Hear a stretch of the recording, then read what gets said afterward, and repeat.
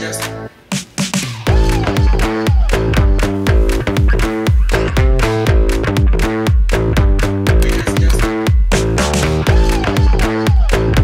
today it's a very exciting time. This is the shoe of the future. You've